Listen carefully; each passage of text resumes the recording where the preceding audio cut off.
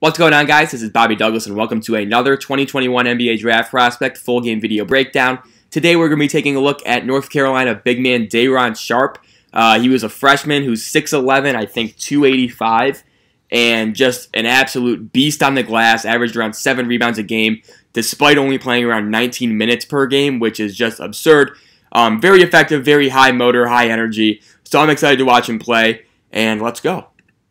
He's going to be number 11, I think, in the white. So you'll see him almost grab the tip off right there, but North Carolina's going to get the ball, and I'll circle him once we get the chance. So yeah, 11 right here, kind of in that short corner, getting to that elbow spot with the ball in his hands right now.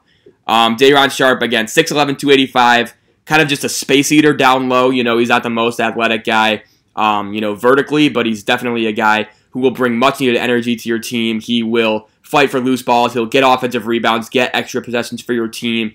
And so I think he does have a place in the NBA, basically on any team, just because of the skill set that he brings. Every team kind of needs one of those, you know, energetic bigs that can rebound, um, defend, block shots, get loose balls, and things like that. So I think Day'Ron Sharpe should be getting late first round looks right now. He's I think he's 27 on my big board. Um, so right around there, kind of in that late first round area.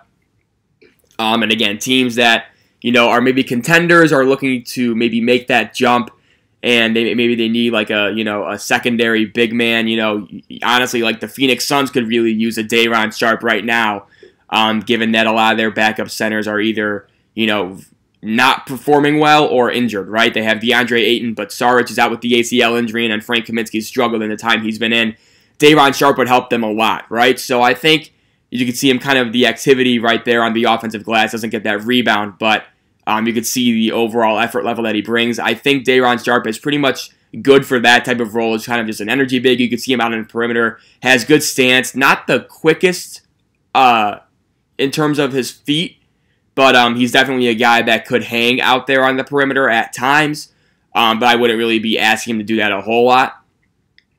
He's much better kind of on the blocks, in the paint you know, taking up space, getting rebounds, being physical, and um, that's definitely going to be his role in the NBA in my um, in my view. Um, you could see him right here. UNC obviously known for their offensive rebounding and kind of, um, you know, I don't want to say like old. Actually, no, I will say I'll say like old school lineups. Right, they'll go two traditional big men. You can see Day'Ron right there. Uh, very easy job right here getting the post. So he's on the skinnier Juwan Durham and Sharpe, you know, he's not super quick out in space, but if you get him on the block, he does have an array of post moves that he can get to rather easily. Right here, he's just going to uh, simply catch the ball and then finish around Durham with that little drop step. Easy dunk. He gets the foul as well. And so that's something that I think uh, Sharpe can do very well as post up. Obviously, with the way the game's going, you know, we've had these discussions before. How often is he going to be able to get able to post up? You know, that's always going to be the question. Um, so yeah, that's always going to be kind of like an issue with him because like the thing he does best offensively in terms of scoring is kind of becoming less and less valuable as he misses that free throw right there. Um, you know, so offensively, I'm not really sure how you know uh, defined his role will be um, in terms of usage. He's just going to be kind of a guy that you don't really run plays for him. He just kind of creates his own offense by getting rebounds and putbacks and things like that. Um, so that's kind of how I view Day'Ron Sharpe. Um, he misses that free throw. Uh, Day'Ron Sharpe's not the type of guy that I can see developing a jump shot. He shot, I believe, 52% from the free throw line. Doesn't really have great range um, on any jumper. You can see him battling for the offensive rebounds, though, right here. So, again, he's going to go up, miss the first shot, gets good position, right? And again, he's just nonstop energy, getting that tip out, right? Playing some volleyball, and ultimately getting that uh, left handed hook shot to go on his like third attempt, right? And so I think Day'Ron Sharpe's just constant. You know, his second effort is always there. Um, you know, not a guy that's gonna kind of roll over and let you, um, you know, take advantage of him on either end. And so I think that's something that could be really valuable for a lot of NBA teams, if not all of them. So um, right there, that's kind of a good example of what I think Day'Ron Sharpe brings. But um, getting back to my point about the jump shot, I don't really think it's there. Um, you know, obviously things can change you know, you get a lot better in the NBA. But, um, you know, just in terms of the range that he just showed at North Carolina, the free throws, um, none of it is really that encouraging. So I kind of see him as more of just like a back to the basket type big um, slash energy big right there. He'll knock that mid range jumper down. But again, this is from 13 feet, right? I'd say 13 feet, and that's probably the farthest out he can go comfortably, right? And so again, he had decent mechanics right there, um, good footwork as well, but I don't really see that being a part of his game long term. Um, you're going to see him on Trey Wertz. Again, he's not afraid of taking these guard matchups, even though I think in NBA space he might be taking advantage, taken advantage of a little bit more often than he was at North Carolina. Um, but I do think he's a guy that can be switchable to a degree. Um, but I do think at the same time, like I think drop coverage is kind of where he would be best at. Um, doesn't have to be a super deep drop like you see Brook Lopez doing, but um, you know I think just giving the perimeter players some, um, some space in pick and roll, I think would probably be his best scheme. Um, but again, he isn't a guy that's just totally on an island on the perimeter. He can definitely hold his own there in certain spots. Um, we haven't seen it yet as we get a charge right here, but Day'Ron Sharpe is probably one of the better passing big men in this year's class. Um, you know, very good block to block passing. Um, always has his head on a swivel, looking for the open man, looking for open cutters. We'll see a lot of action where Sharpe's at the free throw line and he's just kind of letting cutters go around him, and he's really good at picking out those passes. Um, has really nice touch, good feel, quick decision maker, and he's going to contest that three. Not much going on for Notre Dame right there. But we got a steal and a dunk by Nate Laszewski, who was a guy that a lot of people considered to be a fringe second rounder, um, and then he kind of just fell off. But uh, 2022, he's going to be a senior uh, for Notre Dame this year, and he could maybe sneak his way into a two-way deal. I would say um, in the near future. But you can see him right here, Day'Ron Sharpe. Again, very good into dribble handoff situations, right? Similar to what we see Bam Adebayo doing with Miami Heat. Um, and he loves being in that kind of free throw line extended area. Again, good effort right there, crashing the glass, calling out defensive assignments, right? Um, you know, the motor that is there, I think the overall intelligence in terms of defense is there. And it's definitely there with the passing as well, as Sharpe is going to pick up that loose ball. Let's see what happens here. And again, these are the types of instinctual passes that some point guards don't even make, right? So again, it's going to be a fast break for North Carolina. It's a two on one slash two on two, right? But he sees Juwan Sharp has the ball right now, realizes that he doesn't really have an angle to get it back to Bacot for an easy layup. Probably might, probably gets a charge call right here if he tries to go at Laszewski, right? He sees Durham trailing, right? And he's able to just hit this gap for an open three, right? And so the shot doesn't go in, but the passing vision is definitely there. And then, of course, he gets the offensive rebound and another really nice pass to Bacot. Again, just a simple, quick shovel pass in the middle of the lane, easy layup. Day'Ron Sharpe in a nutshell right there. Making the extra pass, picking out passes, finding open teammates, getting offensive rebounds, and then finally finishing with a little bit of a interior pass leading to the layup. Really, really nice job for Sharpe on that possession right there right there, a little bit caught off guard by that uh, Laszewski cut. But um, we got an over and back right here. But you kind of just see the appeal of Sharpe in that kind of possession right there. But um, this game was in the ACC tournament, um, so I think it was March 10th. And uh, Sharpe's going to finish with 14 points, 10 rebounds, 6 assists in 19 minutes, which is like really impressive stuff. And that was pretty much par for the course for him, uh, minus the assists. But I did pick this game primarily because he is a very good passer, and it's not something that he really gets a lot of credit for because he only averaged around one and a half assists per game. But his feel for a game in terms of passing the ball is definitely something that I think needs to be established and noticed. And so that's why I'm like, oh, he had six assists in this game. Let's look at this one, you know? Um, and so, yeah, that was kind of my thought process. This game, by the way, is Sharpe's going to get another post opportunity. But again, just a really simple, easy pass, right? He's not looking for his own shot. And again, just sees Dane Goodwin kind of trying to he's trying to maybe double Sharpe right here. And again, right over the top, easy pass for Kessler. And that's going to be a finish if Kessler kind of knows what that if that's coming, right? Um, you know, he's really good at passing in tight windows, right? Um, a lot of these passes, as I mentioned earlier, are block to block, um, from paint to the paint. And so just kind of having that ability and that kind of confidence to really get those passes in these tight gaps is something that I think is really impressive. You can see he's looking for um, uh, Walker Kessler in the post, couldn't get it to him. and again, North Carolina, very high low oriented, right? They're playing with two traditional bigs on the same time. And again, another really awesome play from Sharpe. Um, but again, they're going to play a lot of uh, high low, right? Two bigs at a time, whether it be Garrison Brooks, um, Walker Kessler in this case, or Sharpe. But just watch this play right here. So it's going to be a miss. Sharpe's going to get the rebound, and it's an immediate pass to Walker Kessler for an easy dunk. Again, just a quick, rapid fire decision making that Sharpe possesses, um, plus the hustle, the offensive rebounding, the space eating that he provides. Um, right there, a little bit of a breakdown for North Carolina. But just Sharpe has one of the more, I think, defined roles in the NBA. Is kind of just an energy big, someone who gets rebounds, loose balls, can find open teammates, isn't going to be a ball hog or a black hole offensively.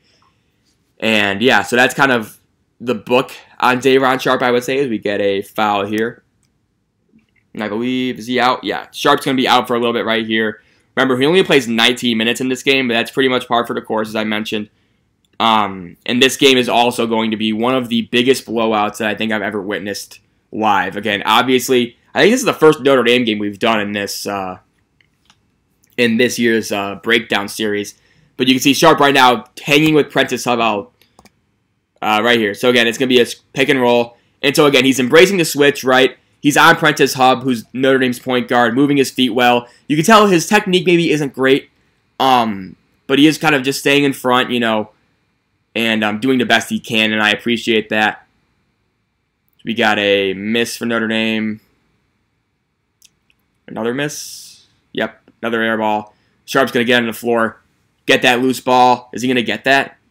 Damn, scramble on the floor. But again, Sharpe constantly on the floor, constantly trying to get loose balls. You know, that's just kind of his brand. Um, but and then he gets that rebound right there to close out that possession. But this game, like, I don't know if I've ever seen anything like it. Notre Dame or North Carolina went on like a 42 to 4 run. And you think I'm kidding, but I'm not. I think the final score was 101 to 59, if I'm not mistaken. And this was in the ACC tournament. Notre Dame, like, you know, I'm a Notre Dame fan, right? I go there. Um, if you guys didn't know, but um, I go there. I'm watching this game in my dorm, and I'm thinking, like, okay, you know, maybe we could string together a few wins, maybe compete, uh, get to an ACC tournament Final Four. I'm thinking that's maybe a goal that we could maybe reach, right? Um, they had just beaten Wake Forest on a buzzer beater the previous night and North Carolina just came out and from the jump just jumped all over Notre Dame. Um, offensive rebounds were like atrociously bad for Notre Dame. I think they gave up close to like 25, which is ridiculous, obviously. And so this game just got it somehow managed to get worse and worse um, as it went on. You know, it was unbelievable. Uh, credit to North Carolina, but it was just a very, very interesting game to watch. Before I turned it off, obviously. Um, but yeah, I think that was Garrison Brooks with a nice little turnaround mid-range jumper as North Carolina takes it. Oh no, it's Bacot, excuse me. Um, as North Carolina takes a 12-point lead. You can see Sharpe on Nate Laszewski.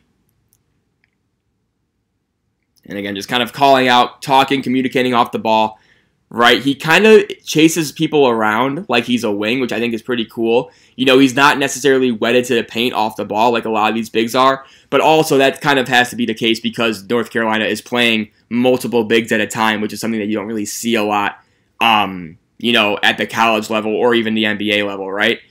Um, but I do like that he's kind of willing to chase uh, Laszewski, who's a known known as a good shooter, willing to chase him around. Is right there. Uh, Sharpe's going to put Juwan Durham in a spin cycle. Again, very quick out of the post, right? Makes quick decisions, whether it be passing or getting a shot off.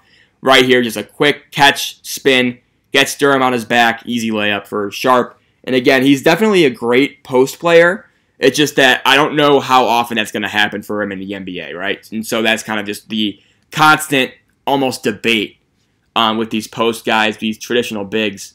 Um, you know, how much are they really utilized offensively in terms of scoring? Right? And so I tend to like big men being taken in this area in the first round, this like 20 to 35 range, right? Um, you know, that's where I think you could get the most value in taking a guy like Sharpe. Um, you know, just because I do think in terms of his overall ceiling and upside, I think he's pretty limited in what he can do. But it's just a matter of how well can he do what he's good at right now, you know? And so that's something I think, um, you know, that'll be worth monitoring. We got a horn set for Notre Dame. Sharpe's going to be sticking to Nate Laszewski. And again, a major block from Bacot. And here comes North Carolina again. Sharpe and bad pass from Caleb Love right there.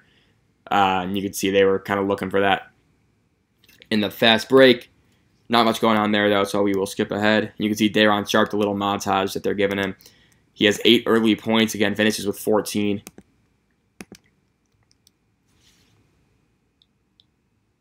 We got Sharpe again on Laszewski.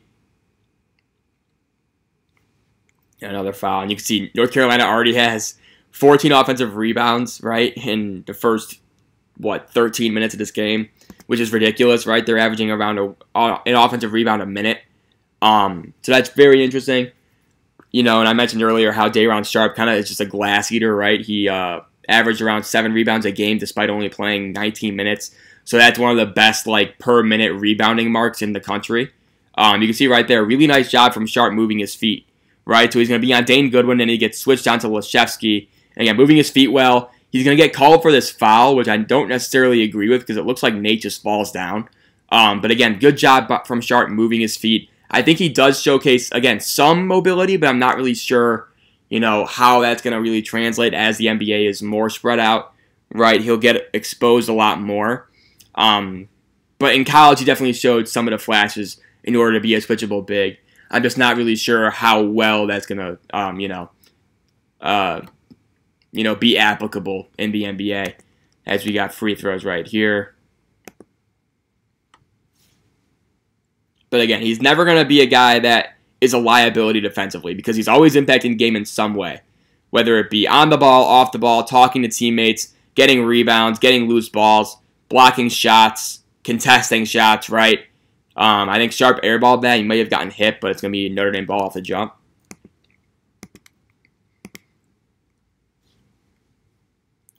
We got another ball screen with Laszewski. It's going to be a pick and pop. Decent contest. Uh, Sharpe kind of got sucked in a little bit right here, right? You could see kind of, um, you know, he kind of has to be in two places at once as Walker Kessler recovers. Um, but again, decent late contest right there. May have gotten away with a foul. That may that's probably called the NBA. And again, North Carolina running that high low. Kerwin Walton can't get it to go, but Day'Ron Sharpe is right there. Gets the foul, can't get the free throw to go, but again, just the activity, right? The ability to just carve out space and grab this rebound.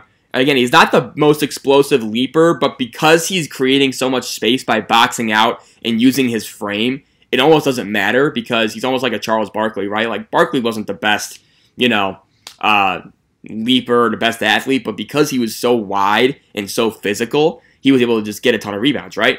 Um, same thing with Day'Ron Sharpe a little bit, even though he is 6'11 instead of like 6'6. So, um, as he misses that first free throw again, 52% from the line. He's not a good free throw shooter. Don't really see any path, at least any clear path for him to develop any of these jump shots. Um, he's going to miss that one as well. Um, but yeah, so he is kind of, in my mind at least, just kind of like uh, what you see is what you get type of prospect. And it's kind of weird to say for me, considering he's only a freshman. Um, but yeah, that's just kind of what I'm what I'm seeing. You can see him in the post right here. And again, just really nice job. Again, running the paint, running the floor, right? Carving out space, getting the ball in an advantageous spot. And again, easy layup for Sharpe. He's got 10. Are we going to get a, yeah. Mm-hmm. Again, horns for Notre Dame. Very popular set with them. Sharps on a guard, right? right there. Maybe he's giving up a little bit of space, but again, that's kind of what he has to do. He's more of a contain big, right? In between that deep drop and just playing, you know, very aggressive defense. He's no Kai Jones where he could just play at the level of the screen, right? Um, but he's also not a Brook Lopez, or he's not a. am uh, trying to think of another drop big, like an Alperen Sengun is, who was a Turkish prospect who I'm sure many of you guys are familiar with. Um, you know, he's kind of in between those two guys. You know, Because we got, let's see what we got. Um, yeah. I think he's in for maybe another minute of YouTube time, I want to say. Yeah. Minute of YouTube time. Notre Dame's going to miss that three. We got another turnover. Nope, not a turnover. Yes, a turnover. There we go.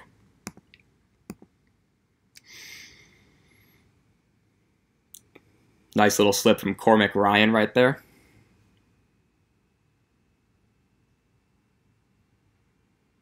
We got Sharpe posting up. He's going to get the ball.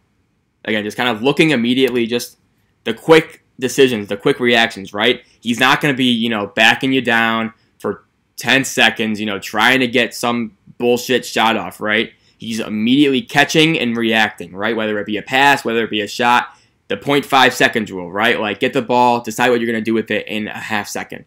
Day'Ron Sharpe is a clear disciple of that. Even though that's not like the best pass to make, but North Carolina's spacing obviously isn't optimal. Um, it's never really optimal with them, but especially on that possession, everybody was I think was inside the three point line. Um, but not much Sharpe can do right there about that. Good job hustling back, even though Kessler's going to get the goaltend and Sharpe's going to go out. But I do appreciate the fact that Sharpe is running the floor back on defense. And uh, he's going to go out for a little bit right here, and then he's in at 35 24. So yeah, he's back in here. Now he is guarding uh, Dane Goodwin, who is a another shooter for Notre Dame. Right, good job re- reacting right there, getting um, a wall up on Laszewski. Again, Sharpe's all over the place on this possession. He's, you know, I just want to replay this possession because he was kind of all over the place here, and I think it's a good thing. You know, he's showing that kind of that never-ending mobility, right? So right here, he's on Laszewski, right, gonna wall him up. Dane Goodwin. Then now he's just immediately running out to contest Cormac Ryan, right? Ryan actually steps on the sideline right there. Classic college basketball play, but um, you know, just the activity and the hustle, the energy, the effort, right? Uh, Day'Ron Sharpe definitely has all those things. We'll see what we got right here. Again, kind of that uh, pass into a ball screen, and Sharpe's going to be the catalyst for that, right? You know, just the pass right on the money, right? Able to take one dribble.